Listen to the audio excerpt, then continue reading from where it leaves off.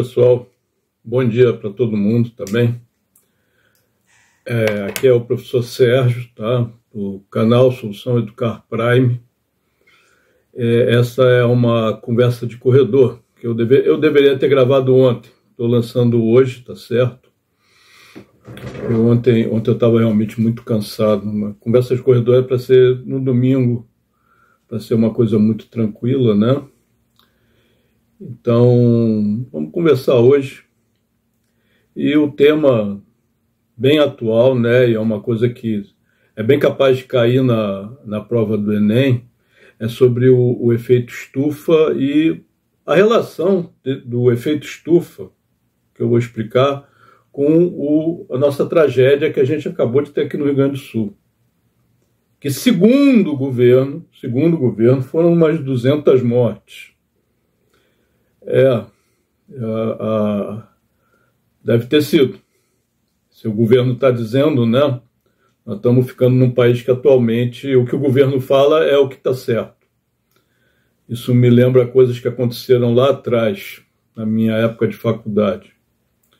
É, lamentavelmente, eu confesso nesse vídeo, eu não acredito em 200 mortes. Eu acho que foi muito mais gente. Mas vamos tentar entender o que está acontecendo, tá certo? Vamos tentar. Eu tenho, eu, eu, como sempre, eu tenho uma listinha, mas não é uma cola. Pessoal, fui criticado porque é uma colinha, não é uma colinha, é apenas uma lista para não esquecer de nenhum item. Eu, antes de mais nada, eu também quero pedir para que vocês se deem um like e se inscrevam no nosso canal, compartilhem com os amigos, tá? Porque nós, a cada dia que passa, nós estamos melhorando a qualidade dos nossos vídeos. Às vezes, é, a gente dá um tropeço aqui, coisa e tal, mas é, eu estou aprendendo como é que a gente pode fazer um vídeo cada vez com mais qualidade. E deem olhada nos vídeos anteriores, tá? Tá certo? Então, a, a primeira coisa a falar sobre efeito estufa é o que, que é que tá, o que, que é o efeito estufa? O que, que é o que, que é o efeito estufa? É, efeito estufa, para quem não sabe, o, o nome vem dessas estufas de de jardim botânico, de lugares frios, que eles colocam um vidro aí a luz passa, aquece as plantas ali dentro e o vidro impede que o calor saia. Então o ambiente se mantém quentinho, mesmo num lugar frio. Por isso fala efeito estufa, né? Essa é a, a, a lógica do, desse negócio, tá certo? Muito bem. O que que, o que que, o que que é esse efeito estufa em termos climáticos, né?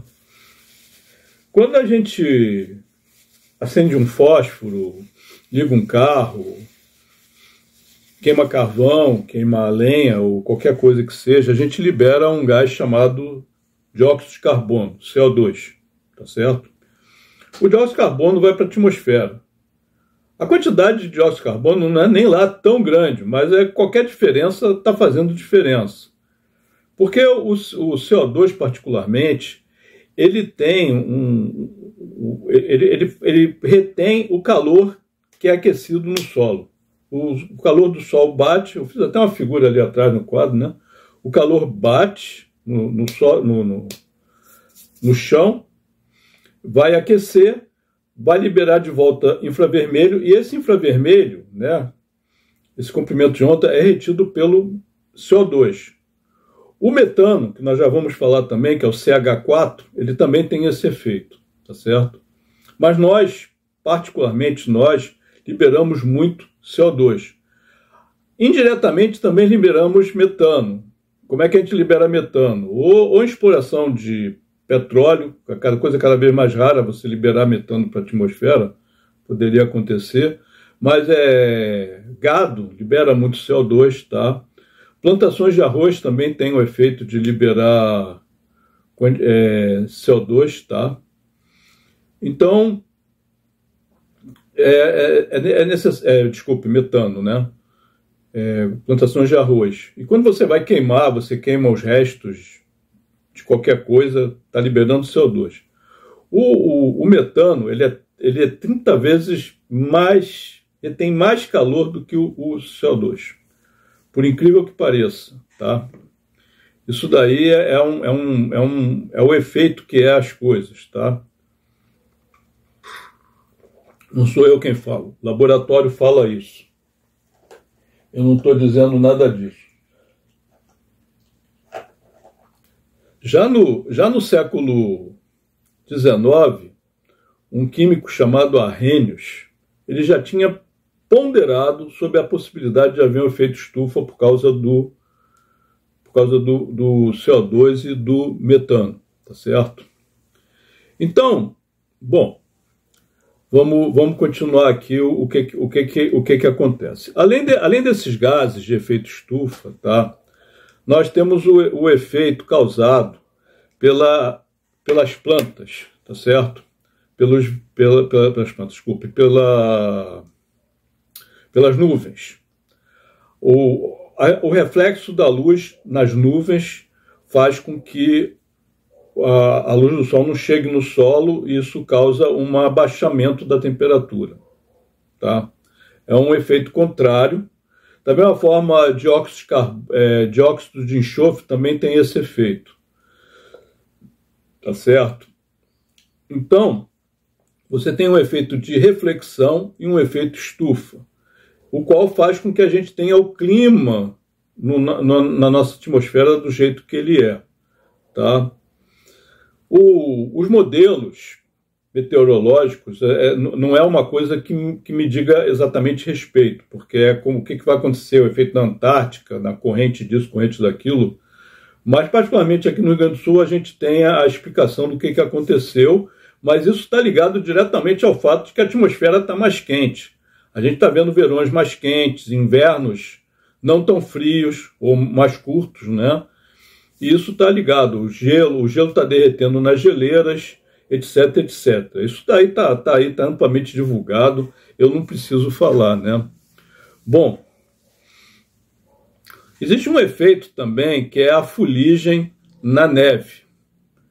As nossas indústrias liberam fuligem. Essa fuligem, ela fica na, na neve, né? ela vai, de alguma forma, se dispersa na atmosfera e acaba se depositando na neve e a, e a fuligem é, é, escura. Então a neve, em vez de refletir, neve nos polos, né, no Ártico, na Antártica, em vez de refletir a, nas montanhas também, em vez de refletir a, a luz, ela absorve. Isso daí aumenta mais ainda. É um outro efeito causado também pelo, pelo, pelo modelo de Revolução Industrial, particularmente a primeira e a segunda Revolução Industrial. Vejam os vídeos no nosso canal sobre Revolução Industrial, nós temos um vídeo sobre a primeira, tá? E inclusive é o primeiro, primeiro, primeiro vídeo nosso. Procurem lá, tá muito bom, tá muito bom o vídeo.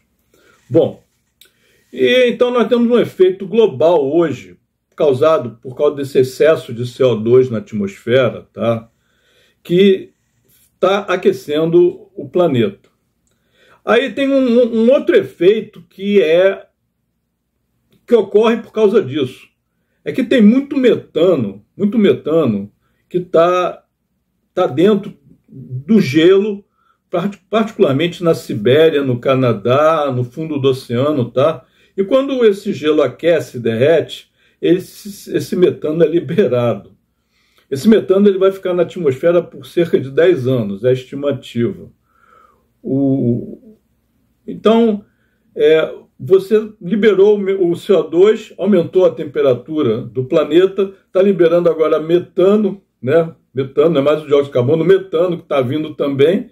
E aí está tendo um efeito bola de neve que alguns dizem que a gente ainda tem tempo, outros acham que a coisa já desandou. Então é, é basicamente isso. Isso é que está aumentando a temperatura do planeta. Existem outros vídeos que falam sobre isso e. Ah, bom, aí vem o problema que a gente tem aqui da, da, das nossas termoelétricas. Nós, nós, temos, nós usamos uma parte da nossa matriz energética brasileira. Diga-se de passagem, na minha modesta opinião, e eu já falei sobre fontes de energia, é, é totalmente desnecessário, poderia ser trocado, tá? Mas só que lá em Brasília eles resolveram manter as termoelétricas, passaram isso em lei, até não sei quando, e botaram imposto sobre placa solar. Você tem contato com seu constituinte, seu deputado federal, escreve para ele, para o seu senador, e diga: olha, a gente está acabando com o planeta, em, em geral e em particular estão acabando com, com o Brasil também. Aí é, é, é, mais ou menos isso. Agora, o pessoal da termoelétrica tem que, tem que entender que você pode substituir a termoelétrica pela carboquímica, que tem seus problemas também. Não é sem problema. Eu tenho, inclusive, um vídeo sobre isso. Mas é melhor do que a gente queimar o, queimar o carvão, como a gente faz aqui no sul. Que a gente tem várias termoelétricas, queriam instalar mais, eu acho que agora já não querem mais. Né? Então, é, é, o problema todo está ligado à emissão de CO2. O CO2 está fazendo com que se emita também, junto com isso, o metano que está lá no chamado hidrato de carbono, já no gelo, que o gelo está indo embora.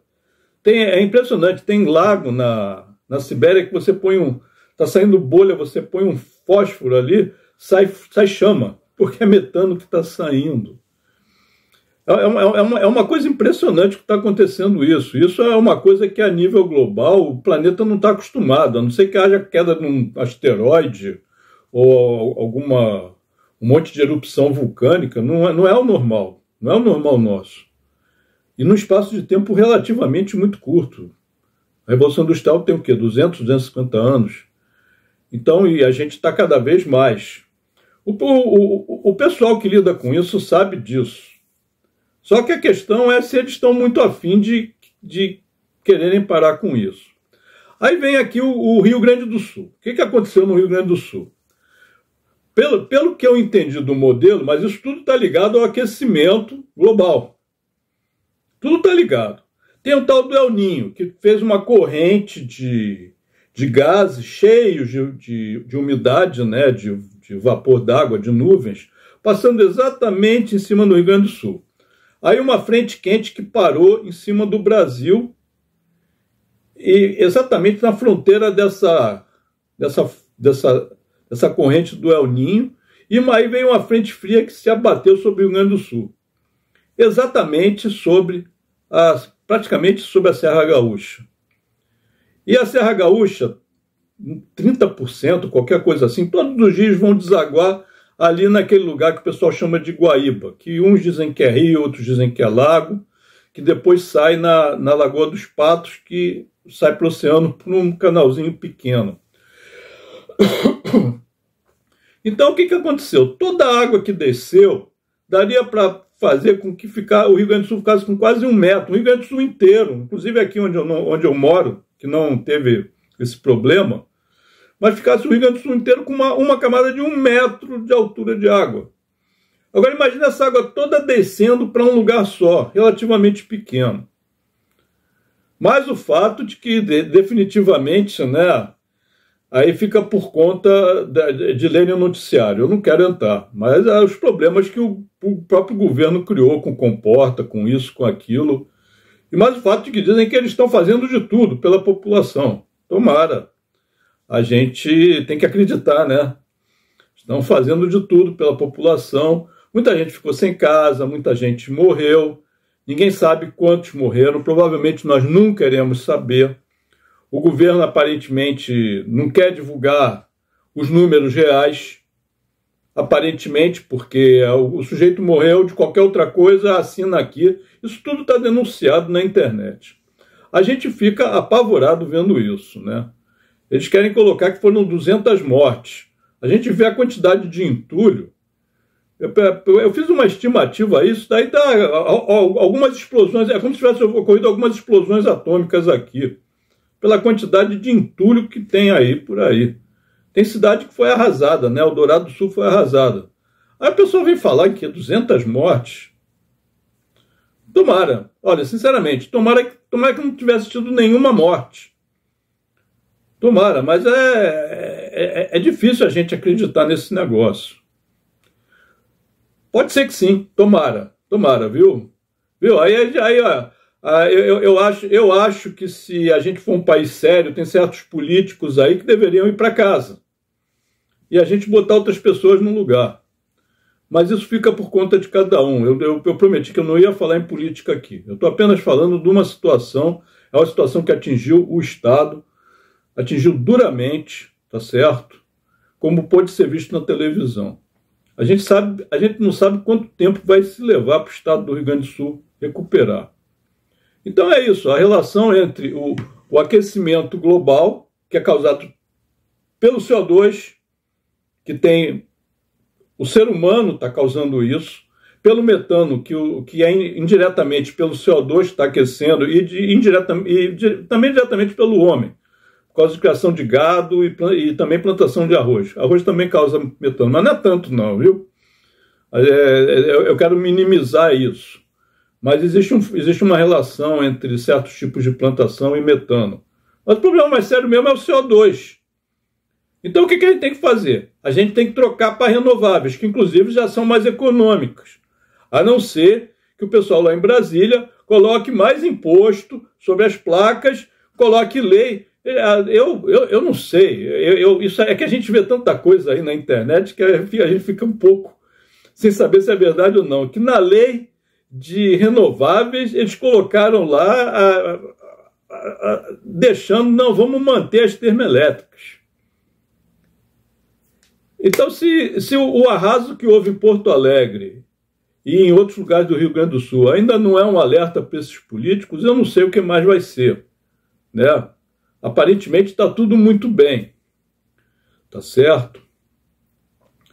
Eu, eu novamente aqui aproveito para dar minha, meus sentimentos para as famílias de quem perdeu alguém.